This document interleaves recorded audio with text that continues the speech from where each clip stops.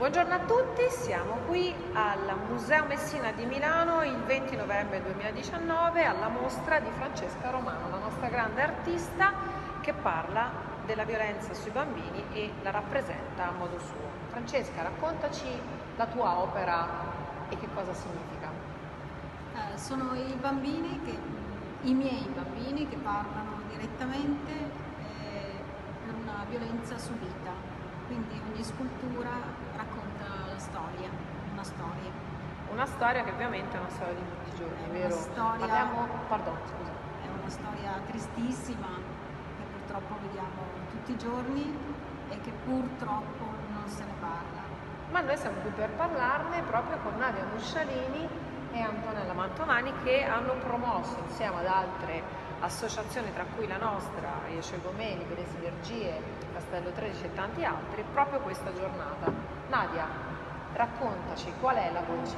La voce è quella di, intanto dei bambini, quelli che vediamo noi in ospedale, nei nostri studi e che quindi dalla sofferenza, come dice lei, dalla violenza poi si arriva alla rinascita e alla vita nuova di gioia. E siamo delle voci civiche cittadini che, che ognuno si occupa di qualcosa in particolare, c'è l'arte, c'è la società civile, ci sono associazioni, ci sono poi le piccole imprese che si sono messe tutte insieme per cercare di dar voce appunto a chi non ha voce o chi non ha modo di esprimere la propria voce, che sono appunto i bambini e gli invisibili, in questo connubio armonico e di libere sinergie. Antonella, l'arte, la condivisione, raccontaci perché. La condivisione perché occupandomi io sono un connettore tra le arti e la, e, tra le arti e la società civile, ci tengo a ribadirlo, perché questa credo sia la missione dell'arte. Gli artisti hanno una sensibilità tale per cui non solo vedono in primis quello che sta accadendo, perché sono portatori sani di futuro e sono quelli che riescono a parlare con molta delicatezza nelle pieghe del non detto di argomenti che arrivano a tutte le persone secondo la soggettiva predisposizione ad accogliere il messaggio, quindi dai piccoli ai grandi, con la stessa forza e sensibilità. Assolutamente. Ritengo che questa mostra non poteva non essere messa in un museo come questo, che sembra la sua destinazione naturale e, ringrazio per l'ospitalità. E l'altra cosa, penso che questi 12 relatori muti, come li chiamo io, sì, adesso 14, eh, si aggiungono alle nostre voci, quindi nel silenzio, se stiamo zitti, loro parlano.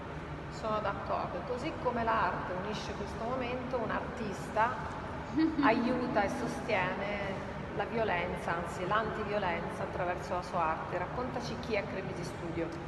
Cremisi Studio è un progetto di accessori moda, borse, e tutto è focalizzato sulle donne. Eh, noi siamo qua non solo perché comunque sosteniamo le donne, ma anche perché le donne sostengono i bambini, sono madri. quindi esatto. pensiamo che sia tutto comunque un, un cerchio che eh, va a finire sempre al solito punto, insomma, ecco quello del, di sostenere. Eh, noi le nostre, le nostre, borse appunto eh, sono delle borse che hanno questa come chiave di lettura, quella proprio di essere un, nuovo, nuova, un, nuovo, modo di interpretare la moda, quindi uh, con, con dei sociali. Provare, provare, per credere le nostre borse. Assolutamente. Nostre borse. E lasciamo per ultimo, ma ormai per ultimo, Walter, che racconta la rinascita consapevole. Beh, noi siamo qua come associazione, Serena ed io, come associazione Io Scelgo Me, che è nata proprio per sostenere le vittime di violenza e abuso psicologico e fisico ed è volta soprattutto alla parte della rinascita post-traumatica. Quindi noi, a volte anche con, l'aiuto, anche con l'aiuto di tecnici magari in casi un pochino più difficili, diamo proprio speranza alle persone che hanno subito questo abuso, questa violenza psicologica in modo che possano avere la speranza di ritornare a vivere e riappropriarsi della propria vita e della propria dignità. Assolutamente d'accordo. Scusami Serena, volevo aggiungere che questa è la prima di serie di eventi di percorso che si chiama Non si può non vedere e che vedrà tra le diversi eventi anche altre due mostre, una in Fabbrica del Vapore, tanto a me non capita, sulla violenza psicologica, una mostra fotografica a, a cura di diverse sinergie e di un'altra mostra che si chiama Il danno, sempre promossa da Castello 13 delle associazioni che sono qua, eh, il danno sull'abuso sui minori. Noi vi aspettiamo. Se posso aggiungere Serena, proprio a corollario di quello che ha appena fatto la Nausent in Adia, è che il danno va a finire in una sacrestia, un luogo anche questo molto particolare di una chiesa di Milano, per cui è particolarmente interessante l'apertura di alcune persone di ospitare un tema così forte. In quell'occasione il 29 di novembre, in quell'occasione faremo il nostro primo anno dell'associazione, per cui aspettiamo tutti coloro che ci ascoltano. Io chiederei a tutti quanti di aprirsi a ventaglio perché l'applauso va ai bambini.